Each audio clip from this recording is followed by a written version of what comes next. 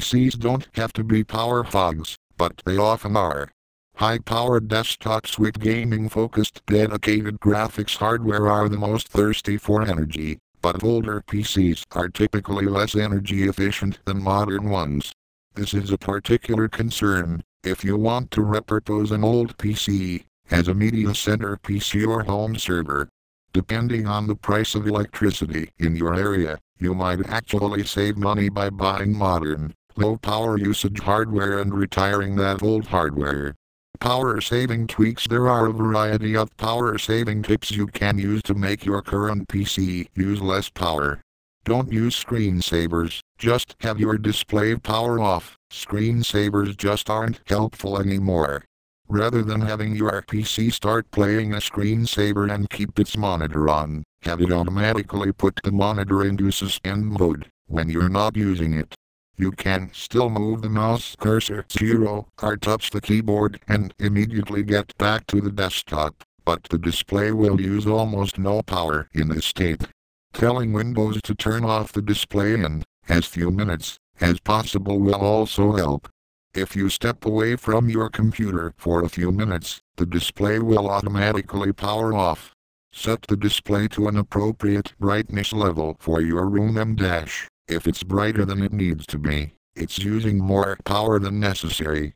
You sleep and hibernate, you shouldn't just leave your computer in all the time.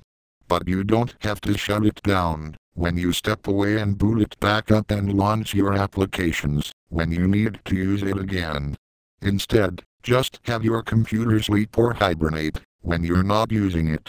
You can have your computer sleep or hibernate instead of shut down from the start menu or tell your computer to automatically sleep when you're not using it.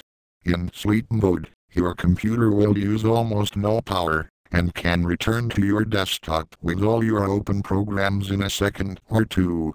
In hibernation mode, your computer will use absolutely no power, but it'll take a bit longer to get back to the desktop. Either way, you won't lose any of your work, and you won't have to leave your computer on. If you're in the habit of leaving your computer on to perform a long-running task like a download, use software that can intelligently manage this. For example, BitTorrent clients and other file downloading applications often have a button you can click to automatically suspend or hibernate your computer after a download finishes.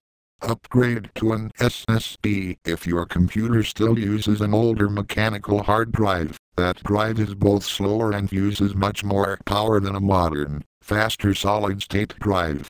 Consider upgrading your computer to a solid-state drive to cut down in its power usage and dramatically increase overall system performance. Other tips All the standard tips for increasing a laptop's battery life apply here, too. But you won't typically want to micromanage all these settings in a desktop PC as you would to stretch the battery life in a laptop. Windows already does a lot of this in its own, automatically throttling your CPU to keep it at the slowest speed possible, while idling performing other power-saving tweaks, including having your computer's hard drive sleep while idle. You can modify your power plan and power saving settings from the Power Options control panel in Windows.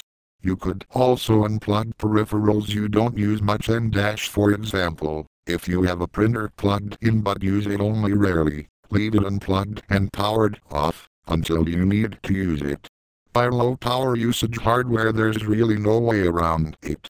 If you want a really low power usage desktop PC and perhaps you want to use it as a lightweight desktop PC, home server, or media center system M you'll want to seek out low power usage hardware.